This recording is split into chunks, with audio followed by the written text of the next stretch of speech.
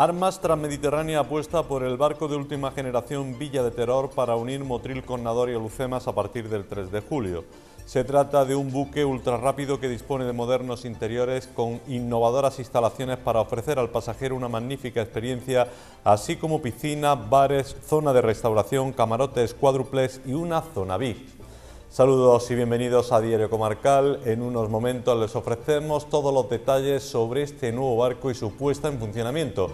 Antes, si les parece, les adelantamos otras noticias en titulares.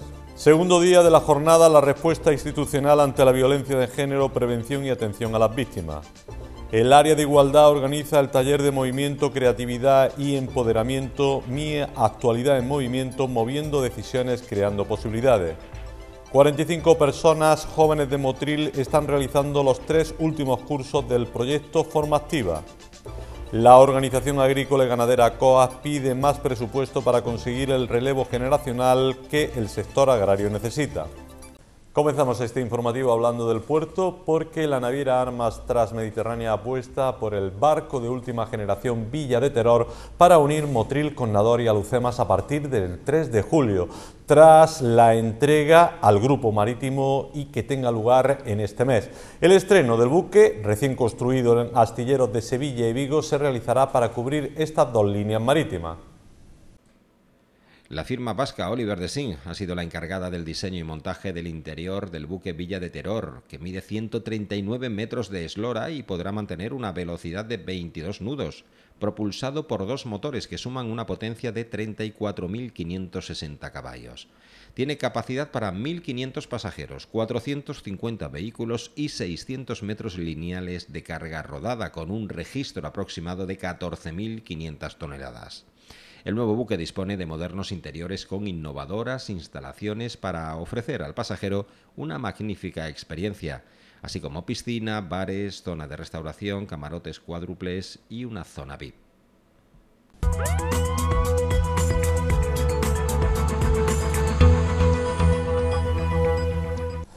Hoy se han reanudado la jornada La respuesta institucional ante la violencia de género, prevención y atención a las víctimas que abordan de manera multidisciplinar la prevención y atención a víctimas de este tipo de violencia con tres nuevas ponencias. El programa de esta jornada comenzaba con la exposición Atención, Detección y Prevención de la Violencia de Género en el ámbito sanitario a cargo de Joaquín Maeso Villafaña director de la Unidad de Atención a la Ciudadanía y representante del Área de Gestión Sanitaria Sur de Granada. A continuación, el médico forense, profesor de la Universidad de Granada y es delegado contra la violencia de género, Miguel Lorente Acosta, habló sobre la negación de la violencia de género. Yo creo que en el fondo eh, está esa primera sensación de pérdida, pero sobre todo la conciencia de injusticia. Es decir, yo creo que en el fondo eh, esa construcción de la desigualdad lo lleva a entender que eh, están abusando porque todo lo que tienen de más es porque se lo han quitado a quien no puede tener esa misma referencia. Es decir, todo lo que los hombres tenemos de más es porque se lo hemos quitado a las mujeres. No hay, no hay más opciones, ¿no? porque no, tenemos un, contexto social y cultural ilimitado. ¿no? Entonces, la percepción de injusticia eh, creo que al final hace que no se reconozcan como, como machistas y que por lo tanto no pretendan ni planteen modificar su estatus, eh, digamos, social eh, reforzado por esa cultura patriarcal que se ha hecho normal, ¿no? que se ha entendido que es la referencia sobre la cual tenemos que convivir. Para Lorente es el feminismo el encargado de introducir la igualdad en el ámbito social y acabar con el machismo. Y precisamente tampoco es casualidad que eh, haya un ataque tan sistemático al feminismo, a las feministas, como si fueran una amenaza, ¿no? porque al final la igualdad se conseguirá a través del feminismo, porque todo lo que el feminismo ha hecho hasta ahora, todo lo que el feminismo ha propuesto hasta ahora y lleva prácticamente 300 años haciéndolo, ha sido positivo para la sociedad y para la convivencia, todo. ¿Por qué si todo lo que ha propuesto el feminismo, desde el voto de las mujeres a la incorporación a los puestos de responsabilidad, si todo lo que ha propuesto el feminismo ha sido positivo, ¿por qué se duda lo que propone ahora? Pues porque cada vez vamos viendo que esa construcción social eh, de poder pues está siendo cuestionada. Antes el debate estaba sobre los tiempos y los espacios, sobre lo que los hombres y mujeres deberían de hacer y, los lugares que deben de ocupar, y ahora estamos hablando sobre cuestiones más profundas como es la identidad, como es la referencia cultural, como es la manera de organizarnos y convivir. Y eso es lo que el machismo quiere conservar porque al final es poder. Por último, para este médico forense y profesor universitario, la eliminación del machismo supondría la solución a la violencia contra las mujeres de manera estructural. Siempre habrá casos, como sigue habiendo casos de criminalidad en otro elemento, pero no, pueden, no contarían con una normalidad, con una minimización, con una justificación, con el hecho de que el 80% de las mujeres sean asesinadas lo sean sin haber denunciado previamente, con el hecho de que una mujer que vive en una situación de maltrato eh, mantenga la relación durante nueve años antes de salir o denunciar. toda esa normalidad que está alimentando lo que es la violencia contra las mujeres desaparecería. Podría haber casos, pero no, hablaríamos, no hablaríamos de una violencia contra las mujeres de manera estructural eso es lo que tenemos que acabar con esa estructuralidad que es la normalidad, que no son elementos artificiales ni ajenos a lo que eh, entendemos por convivencia. Romper con eso es la clave para acabar y erradicar con la violencia de género. Finalmente, Candela Gracia Moril, profesora de la Universidad Pablo Lavide de Sevilla, psicóloga jurídica y forense, presentó la prueba de la violencia y el informe pericial. La próxima semana se llevará a cabo el taller Mi actualidad en movimiento, moviendo decisiones, creando posibilidades, organizado por el área de igualdad con el objetivo de potenciar el empoderamiento de las personas mediante el movimiento, la expresión y la creatividad, abordando de manera dinámica la toma de decisiones a través de la conciencia corporal y sensorial. La Sala de los Arcos acogerá este taller de movimiento, creatividad y empoderamiento los días 10 al 12 y tras su conclusión habrá una sesión diseñada por los propios participantes y abierta a todo el público, así como una charla debate donde se presentarán las diversas experiencias surgidas en este taller.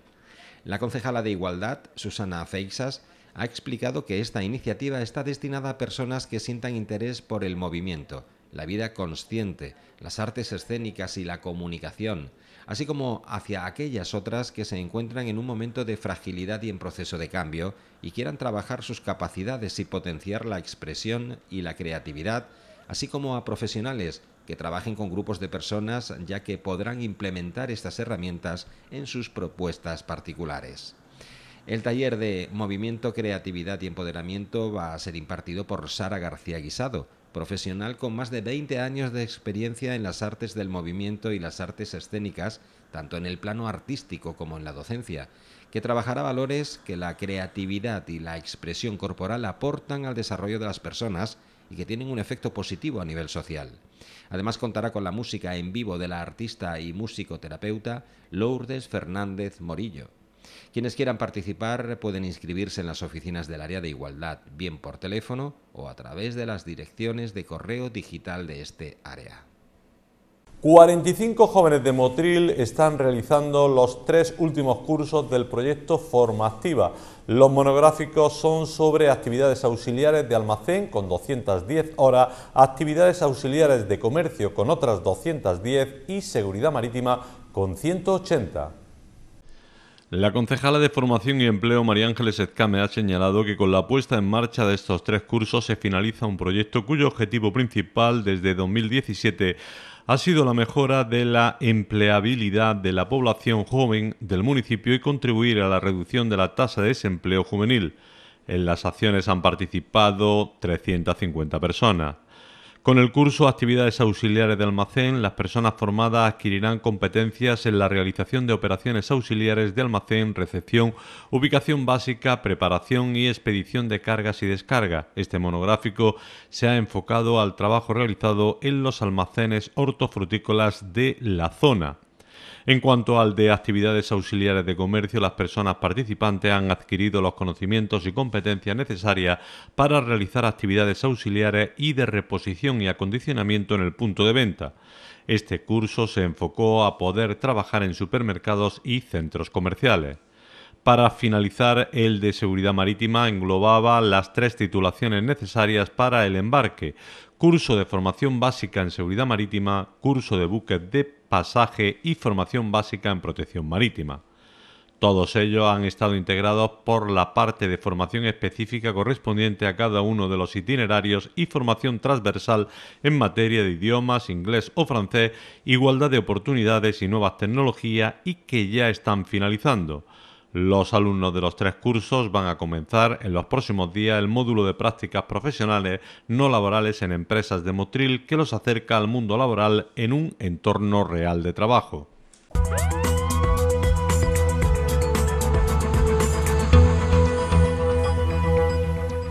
La Junta de Andalucía va a invertir 190.000 euros en reforzar la atención a las víctimas de violencia de género en los juzgados de Granada, entre ellos los de Motril. En concreto, en nuestra localidad se va a contar con dos nuevos interinos del cuerpo de tramitación que irán destinados al juzgado que atiende los malos tratos y al penal número 2. El objetivo es agilizar la tramitación de los expedientes y mejorar la atención a la ciudadanía. Los interinos se nombrarán inicialmente para un semestre hasta el próximo 31 de diciembre, aunque podrá ser prorrogado en 2020. Por otro lado, la Consejería de Justicia pondrá en marcha del 1 de julio al 30 de septiembre la ampliación de personal en los juzgados de guardia en Motril, que contará para las guardias con el 100% de la plantilla, ya que habitualmente la realiza el 50%. De esta forma se suman cuatro funcionarios más para realizar las guardias frente a los cuatro actuales, lo que supone un total de ocho disponibles. La consejera de Agricultura Carmen Crespo ha resaltado que la dotación presupuestaria de la política de la consejería que dirige es una de las más altas del gobierno autónomo al ascender a casi 2.753 millones de euros. Este montante supone un incremento del 14,3%. Este aumento récord se destinará, entre otras actuaciones, a acometer el Plan Estratégico para la Mejora de la Competitividad del Sector Agrícola, Ganadero, Pesquero y Agroindustrial y del Desarrollo Rural de Andalucía. En consecuencia, aumentan los recursos destinados a diversas líneas de actuación como, por ejemplo, las agroindustrias. La consejera ha hecho hincapié en que su departamento trabajará para que el presupuesto se pueda ejecutar porque eso es lo más importante al ser las cantidades ejecutadas las que realmente llegan a los administrados. La consejera ha destacado también la partida dirigida a modernización de explotaciones, impulso del relevo generacional y la titularidad compartida y mejora de infraestructuras. En concreto, ha detallado que los fondos dirigidos a respaldar a los jóvenes agricultores y ganaderos se incrementan en un 75%, el presupuesto para mejora de caminos rurales en un 18% y se duplica la inversión en regadío. Ascienden también en 2019 los recursos destinados a seguros agrarios. Además, habrá 10 millones de euros más para agricultura ecológica y se comenzará a ejecutar un plan de modernización de las oficinas comarcales agrarias. En Pesca, Crespo ha afirmado que su departamento va a ejecutar el presupuesto dirigido a este sector respaldando, entre otras actuaciones, la diversificación de las lonjas y las inversiones en los puertos con casi 50 millones de euros para estas acciones y acuicultura, modernización de la flota y paradas biológicas. Y tenemos que reseñar que la Organización Agrícola y Ganadera COA ha pedido a la Consejería de Agricultura de la Junta de Andalucía que incremente el presupuesto necesario para que se produzca el necesario relevo generacional. El viernes se publicaba la resolución provisional de las ayudas de incorporación de jóvenes 2018 de las 2.259 solicitudes presentadas en esta convocatoria, han resultado 1.576 favorables, 670 desfavorables y ha habido 13 desistimientos. De las 1.576 favorables, solo 478 recibirán la ayuda, por un importe medio de unos 63.000 euros, porque los casi 30 millones de euros disponibles solo permiten atender al 30% de las solicitudes favorables. Es decir, el 70% de los jóvenes que cumplen todos los requisitos de la convocatoria quedarán sin apoyo por falta de presupuesto. Para el secretario provincial de COAG, Miguel Monferrer, es inaceptable que casi 1.100 jóvenes que quieren incorporarse a la actividad agraria queden excluidos de la convocatoria y pide a la Consejería que haga un esfuerzo mayor para poder llegar al 100% de las solicitudes favorables. Además, hay que considerar que el 98% de ellos ha presentado un plan empresarial que les compromete a ejercer la actividad agraria como profesionales. Monferrer añadió que actualmente el 36% de los titulares de las explotaciones son mayores de 65 años, lo que significa que hay más de 82.000 explotaciones que en 2020 estarán en manos de mayores de 70, si no se da el relevo generacional necesario para el mantenimiento de la actividad en el medio rural. A ello hay que añadirle el empleo indirecto. Según Eurostat, por cada joven que se incorpora a la actividad agraria se genera entre 7 y 10 empleos. La Interprofesional de Frutas y Hortalizas Horti España busca revalorizar el 50% de los plásticos agrícolas. En la actualidad el plástico es retirado en el 70% de los casos y en la mitad de las ocasiones se le da un nuevo uso. En el estudio de la Cátedra Coexpalual para Horti España, contribuciones económicas, sociales y medioambientales del cultivo de invernadero, se apunta como una gran oportunidad para el sector agrícola y la propia economía la reutilización de los residuos, tanto plásticos, los de protección vegetal y envases, así como la biomasa, cuya revalorización alcanza el 25%. En España, el sector agrícola solo genera el 7% de los residuos plásticos y contribuye más que otros al reciclaje, ya que representa el 9% del total reutilizado. Nos vamos a la página de sucesos porque tenemos que reseñar que la Guardia Civil ha puesto a disposición judicial en calidad de investigados a cuatro jóvenes de entre 20 y 27 años, dos hombres y dos mujeres vecinos de Guajar, Faragüí, sin antecedentes policiales, como presuntos autores de un delito contra la salud pública por el cultivo de marihuana. Las quejas de algunos vecinos de Guajar Faragüí por el intenso olor a marihuana que había en torno a una vivienda llegaron hasta la Guardia Civil de Salobreña. Agentes del equipo de investigación de este puesto se desplazaron hasta este municipio y comprobaron que existían indicios claros de que en la vivienda de los sospechosos pudiera estar cultivándose cannabis sativa. Los guardias civiles se entrevistaron con la propietaria de la vivienda y una vez que ésta accedió a que realizaran un registro voluntario, inspeccionaron la casa y descubrieron que en una habitación se estaba cultivando de manera intensiva 145 plantas de cannabis sativa y que en la azotea había otras siete plantas más en avanzado estado de floración. La Guardia Civil también averiguó que los cuatro ocupantes de la vivienda eran los propietarios de la plantación, de ahí que los cuatro fueran investigados por un delito contra la salud pública.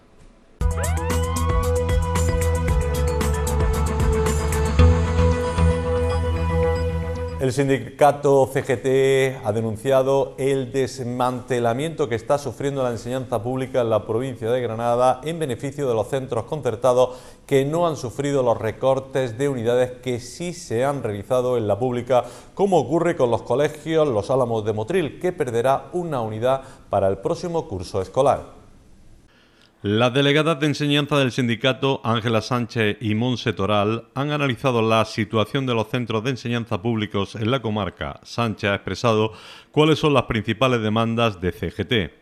Avanzar en la educación de calidad de manera que se reduzca la ratio, que se dediquen horas a, más horas a apoyos educativos, que haya una digna atención al alumnado con necesidades educativas especiales y una atención, mayor atención a la educación por proyectos, que eso requiere horas del profesorado, por lo tanto se necesitaría más profesorado. Sánchez lamenta que a pesar de que el coste para la administración de una unidad en la concertada es muy superior a la pública, la Junta haya decidido eliminar las plazas en los centros públicos. 9.000 eh, euros nos cuesta a los ciudadanos una unidad en la educación concertada. 375 euros es lo que cuesta una unidad en la educación pública. Hay una gran diferencia. Pero es que además la Junta de Andalucía le ha estado regalando a la educación concertada 18 euros, además, por alumno, por cada alumno en los centros concertados. Ello sin contar el sueldo y el salario del profesorado y la, seguridad social, que la paga el Estado también en los, centros concertados. Por último, Sánchez ha resaltado que la Administración, en lugar de aprovechar la oportunidad del descenso de la natalidad para reducir el número de alumnos por clase, ha optado por eliminar líneas en la pública y profesorado. ¿Qué es lo que vemos? Que el descenso de la natalidad, es cierto que ha habido un descenso de la natalidad, pero solo ha afectado a la educación pública, porque mientras tanto la educación concertada ha ido engordando, ha ido engordando, se, han, ido ampliando los conciertos y, es algo que, no se puede tolerar. De hecho, aquí en, la ciudad de Motril, eh, que convive la, educación concertada y la pública, pues la supresión de unidades está afectando solo a la educación pública. En este sentido, la delegada de CGT Monsetoral ha afirmado que la falta de un plan de mantenimiento en todos los centros de enseñanza público afecta a la comunidad educativa, poniendo varios ejemplos significativos de falta de personal. En general podemos decir que sufren eh, la inmensa mayoría un abandono absoluto. Eh, no hay respuesta a las necesidades tanto de personal, de recursos humanos, como de rehabilitaciones y reformas que son necesarias en ello y la Administración eh, se está desentendiendo de todos estos aspectos. En muchas ocasiones estas deficiencias son cubiertas por el profesorado y por todo el personal que trabaja en los centros de administración pública y familia incluso. En el Julio Rodríguez, en lugar de dos administrativos, hay uno y compartido con otro centro. Hay clases sin salidas de emergencia y con el presupuesto del instituto ha habido que renovar la instalación eléctrica que tenía más de 50 años. En el IE en La Zafra, eh, un centro de 2.200 alumnos y alumnas que tiene cuenta con todo tipo de enseñanza, todo tipo de niveles educativos, un centro abierto desde las 8 de la mañana hasta las 11 de la noche, eh, tiene un total de tres eh, limpiadoras, una en la mañana y dos en la tarde, cuando hace 20 años en, la relación de puestos de trabajo tenía aprobado cinco personas. Actualmente decimos que duplicado el alumnado cuenta con tres. Eh, me consta, nos consta que tanto el alumnado como los docentes se están haciendo cargo en gran medida de la limpieza y el mantenimiento del centro. La falta de monitores para alumnos con necesidades educativas especiales es generalizada, al igual que el desarrollo de planes de rehabilitación aprobados hace años, algunos, como en el Cardenal Belluga, incluso de ampliación del centro, pero no se ha realizado nada. En el CEI San Antonio, eh, las pistas deportivas mm, no se podrían llamar de esta manera, los socavones, el estado en el que están de deterioro. Eh, la CGT denunciamos eh, en enero de 2018 esta situación. La respuesta fue que el profesorado del centro hiciera el curso de riesgos laborales. Esa fue la respuesta para eh, soslayar este problema. Y seguimos con los sindicatos, concretamente con CGT, USTEA y la Federación de Padres de Alumnos de la Educación Pública, que han convocado una concentración el jueves 13 de junio a las 7 de la tarde en las puertas de la Delegación de Educación en Gran Vía en defensa de la enseñanza pública, como ha anunciado la delegada de CGT, Ángela Sánchez. Para reivindicar eh, la no supresión de unidades en la educación pública, ese es un punto fundamental y eh, la mejora en las condiciones de los centros de, la, escuela pública. Eh, más profesorado, eh, más atención, mm, arreglo de, de, los centros docentes, más inversión de dinero a la educación pública. Nosotros reivindicamos, desde CGT llevamos muchos años reivindicando como mínimo un 7% del Producto Interior Bruto, que es lo que se está invirtiendo en muchos países europeos. Incluso en parte de España, o sea, en comunidades autónomas de España, se, están acercando, hay otras comunidades donde se están acercando a esa cifra, mientras que aquí en Andalucía pues estamos eh, con una cifra muy, muy baja.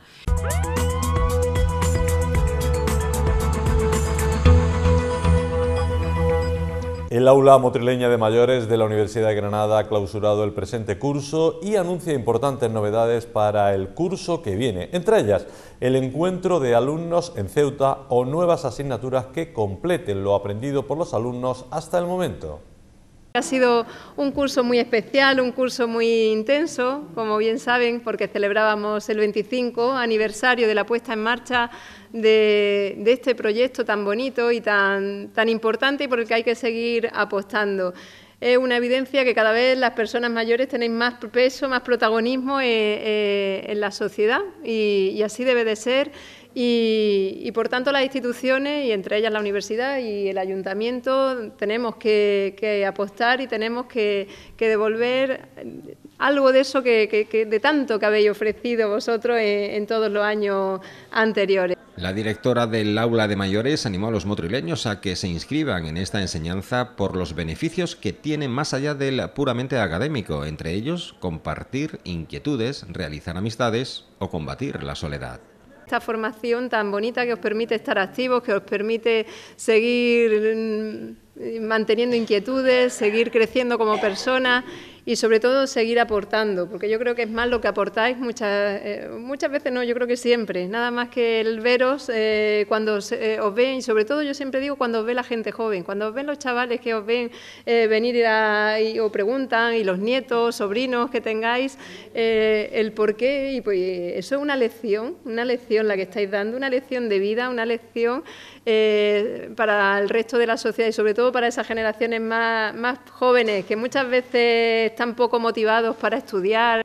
El coordinador del aula, José Luis Fernández, hizo un repaso por las actividades realizadas y anunció que harán una campaña de promoción para difundir el aula y que el curso que viene cuente aún con más alumnos. Hemos hecho muchas cosas, pero nos quedan cosas por hacer. ¿eh? Nos queda por, asentar eh, la asociación de alumnos, hay que darle más cuerpo.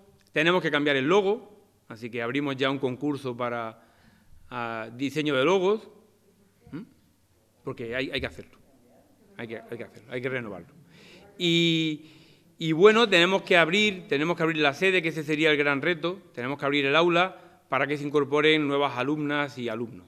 ¿eh? Para, el próximo curso, entonces empezaremos con una campaña de difusión en los medios de comunicación, a través de distintos organismos oficiales, y, la mejor forma de difundir esto son ustedes, que son los que pueden a través de su WhatsApp, de su boca a boca, hablar de las bondades de, venir por las tardes a aprender, que es de lo que se trata. La concejala de Educación, Mercedes Sánchez, se mostró satisfecha por el esfuerzo que realizan los mayores motrileños para continuar aprendiendo cosas. Siempre os lo digo, que soy un ejemplo a seguir, puesto que hay que tener ganas de venir a las seis de la tarde, lloviendo, haciendo frío, ahora haciendo calor, en vez de quedarse en casa a gusto. Entonces, yo como concejala estos cuatro años, no sé si habré estado a la altura. Ha habido cosas que es verdad que no las hemos podido hacer, pero me siento orgullosa de que haya estado el aula permanente de la Universidad de Mayores, puesto que, ¿cómo no?, recompensaros a vosotros. Sánchez animó a los alumnos a que continúen en el aula el curso que viene. La gente joven no sabe que el esfuerzo de que ellos, que se ha hecho para que ellos estén a gusto, lo habéis hecho vosotros. Entonces, gracias y hay que premiar vuestro esfuerzo y hay que premiaros con cosas que os hagan sentir bien. Gracias por ser así y que tengáis un gran... El año que viene sea un año estupendo y que este año lo hayáis pasado bien.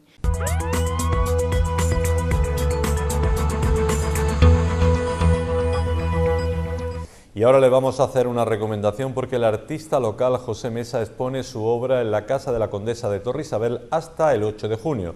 La muestra puede visitarse con entrada gratuita.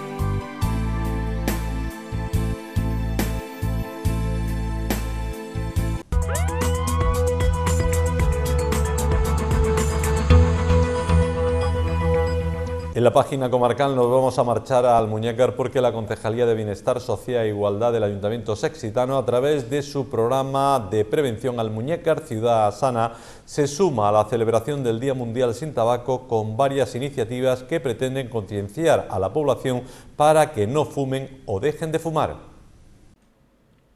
La campaña tiene por objeto concienciar sobre las consecuencias negativas que tiene el tabaco para la salud pulmonar de las personas que van desde el cáncer hasta enfermedades respiratorias crónicas y el papel fundamental que desempeñan los pulmones para la salud y el bienestar de todas las personas. Con este objetivo se han puesto en marcha distintas actuaciones. Se ha convocado el certamen escolar de carteles, dibujos y cómics, un día sin humos, dirigido a los alumnos de tercer ciclo de educación primaria.